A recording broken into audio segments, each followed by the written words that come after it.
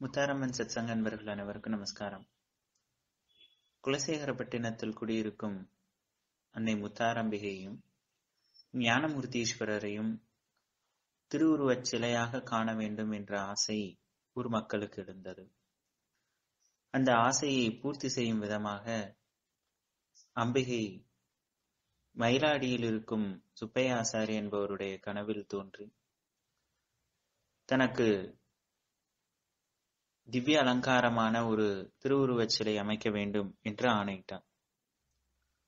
அவர்களுடைய ஸ்வரூபத்தை காட்டி அந்த ஸ்வரூபத்திற்கு ஏற்ப திருவுருவச் சிலை அமைக்க வேண்டும். அதை குலசேகரப்பட்டினத்தில் இருந்து வருபவர்களிடம் கொடுத்து அங்கே பிரதிஷ்டை செய்ய வேண்டும் என்று ஆணையிட்டார் இதை கனவு மூலமாக அம்பிகை தெரிவித்தார். கனவு கலந்து திடுக்கிட்டார் ஆச்சாரி. கனவில் முத்தாரம்மன் தனக்கு ஆணை பிறப்பித்ததை அப்பொழுதுதான் அவர் உணர்ந்தார். ஆனா அவருக்கோ குலசேகரப்பட்டினம் எங்க இருக்கிறது அப்படிங்கிறது கூட தெரியாது. ஏன்னா அவர் இருப்பது மயிலாடி அப்புறம் குலசேகரப்பட்டினம் எங்க இருக்கிறது என்பது பற்றி பலரிடம் விசாரித்து தெரிந்து கொண்டு அதற்கப்புறம் தன் மனத்தில் திடமாக பதிந்திருந்த அம்பாள் மற்றும் சுவாமியின் திருமேனியை அப்படியே அவள் கூறியபடி கற்களில் சிலையாக வடித்தார். அவர் சிலையை அப்படி ஒவ்வொரு நாளும் ரசித்து ரசித்து அனுபவித்தார். சிலர் சொல்வார்கள் அவர் முதலாக அவர் வடித்த அந்த சிலையானது சிதலமடைந்து போக. அப்புறம் என்னன்னு பார்க்கும்போது அதுக்கு ஒரு பலி தேவைப்படுது அப்படிங்கறது பார்த்து அவருடைய பெருவிரலையே வெட்டி அந்த இரத்தத்தால தேவிக்கு திலகமிட்டு ஒரு திருவுருவச் சிலையை வடித்தார். அதுவே இப்பொழுது இருக்கும் திருவுருவச் சிலை அப்படின்னு சொல்லுவார் ஆனா அது செவி வழியாக வந்த செய்தி தான் எந்த அளவு உண்மைங்கிறது தெரியல. அப்படி அவர் சிலையை அழகாக வடித்து முடிக்கும் அந்த ஒரு திருநாளில் முத்தாரம்மன் கனவில் கூறியபடி குலசையில் உள்ள அந்த கோவில் ஆச்சாரியரும் அவ்வூரை சேர்ந்தவர்களும் மயிலாடிக்கு வந்து சேர்ந்தாங்க அவங்களும் தேடி மயிலாடிக்கு வரவும் இவங்க எல்லாம் இவரும் அம்பிகைக்கு திருவுருவச்சிலை வடித்து முடிக்கவும் சரியாக இருந்தது. அப்போ அவங்க சுப்பையாசாரி யாருன்னு விசாரிச்சு அவரை சந்தித்தார் சுப்பையாசாரி ஏற்கனவே ஞானமூர்த்தீஸ்வரர் முத்தாரம்மன் சிலையை செய்து வைத்திருப்பதை பார்த்து அவங்களுக்கு ரொம்ப அதிர்ச்சியும் சந்தோஷமும் ஏற்பட்டது. ஏன்னா அங்கேயும் கனவுல வந்து சொல்லியிருக்கா இங்கேயும் கனவுல வந்து சொல்லியிருக்க இந்த ரெண்டையும் பொருந்தி பார்க்கும்போது அவளுடைய மகாத்மியம் நமக்கு புரிகிறது.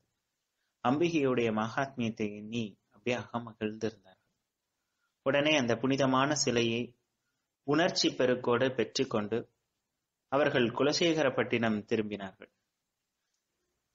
இங்கே குலசேகரப்பட்டினத்தில் சுவாமியும் அம்பிகையும் எல்லாரும் வரவேற்கிறதுக்காக நிற்கிறார்.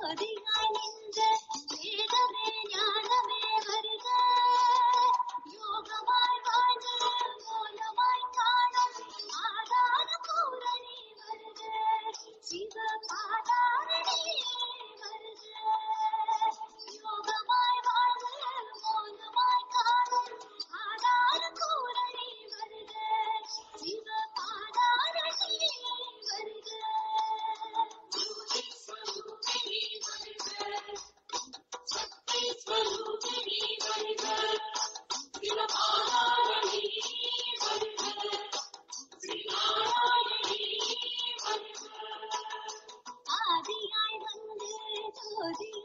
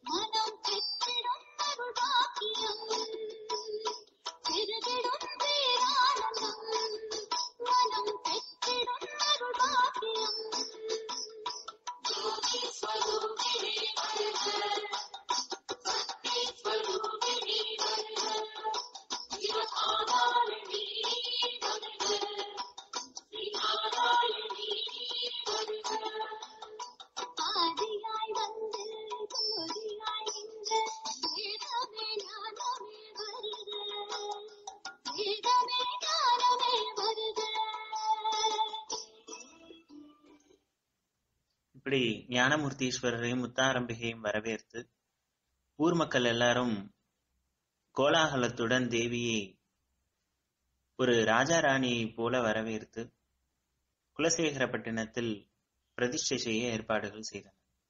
முத்தாரம்மனின் விருப்பப்படியே அந்த சிலை சுயம்புவாக முளைத்துள்ள அம்பாளின் அருகே பிரதிஷ்டை செய்யப்பட்டது. அந்த அன்னை தான் குலசேகரப்பட்டினத்தில் இன்றும் பக்தர்களுக்காக காட்சியளித்தார் முத்தாரம்மன் அருகே ஒரே பீடத்தில் சுவாமி ஞானமூர்த்தீஸ்வரர் வீற்றிருப்பது ஒரு முக்கியமான சிறப்பம்சமாகும். வேற எந்த சன்னிதானத்திலையும் கிடையாது. சிவனும் பார்வதியும் சேர்ந்து ஒரே பீடத்தில் அமைந்திருக்கும் ஒரு திவ்யமான ஒரு ஸ்வரூபமாக இங்க இப்போ காஞ்சிபுரத்துல இருக்கே அப்படின்னு கேட்கலாம். காஞ்சிபுரத்துல இருக்கிற எல்லா சிவாலயங்கள்லயும் சக்தி பீடம் கிடையாது. தனியா சக்தி கிடையாது. காமாட்சி அம்மன் மட்டும்தான் உண்டு. காமாட்சி கா கோவில்ல இருக்கிற காமாட்சி மட்டும்தான் உண்டே தவிர அங்க அந்த ஊர்ல இருக்கக்கூடிய எந்த சிவாலயங்களையும் சக்தி சன்னதி கிடையாது. அந்த சிவன்லயே சக்தி இருப்பது போல சேர்ந்த சுரூபமாக பின்னால போட்டிருக்கும். ஆனா அங்க ஒரே பீடத்துல சுவாமியும் அம்பாளுமாக இருப்பது போல தனி உருவம் கிடையாது. சிவ ஸ்வரூபத்திலே வடித்திருக்கும். ஆனா இங்க சுயம்பு வடிவம்ங்கிறது தனியாக கீழே இருப்பதும் பின்னால தேவிக்கு திருவுருவ சிலையாக சுவாமியும் அம்பாலும் ஒரே பீடமாக அமைத்திருப்பதுங்கிறது தான் இங்க இருக்கக்கூடிய தனிச்சிறப்பு. தேவிக்கு உபதேவன்மாராக கணபதி கருப்பசுவாமி பேச்சியம்மன் பைரவர் காத்தவராயர் முதலான தெய்வங்கள் எல்லாமே அங்க பிரதிஷ்டை செய்யப்பட்டது அப்படிங்கிறது சரித்திரம்.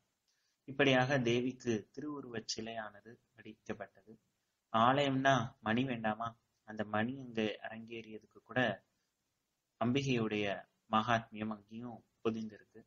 அந்த மகாத்மியம் என்னங்கிறத நம்ம அடுத்த பதிவில் சந்திக்கும் போது சிந்தனை செய்வோம். நன்றி வணக்கம்.